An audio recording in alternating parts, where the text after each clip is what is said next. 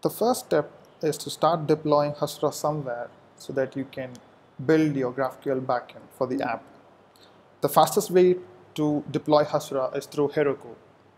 Heroku comes with a free tier and it also comes with the Postgres add-on.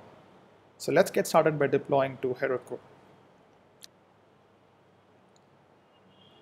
Let's say the app name is Learn Hasura Backend.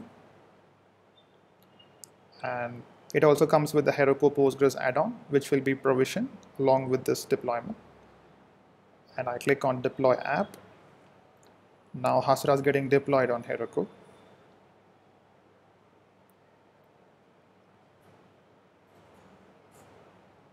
All right, now the app has been deployed. Let's open the app by clicking on View. The UI you see here is the Hasura console, which comes along with GraphQL Engine. It allows you to manage the database and explore GraphQL APIs. It comes with a built-in GraphiQL where you can explore the GraphQL APIs. And there is a data tab which lets you manage Postgres tables and relationships and there are other tabs like remote schemas and events which we'll come to later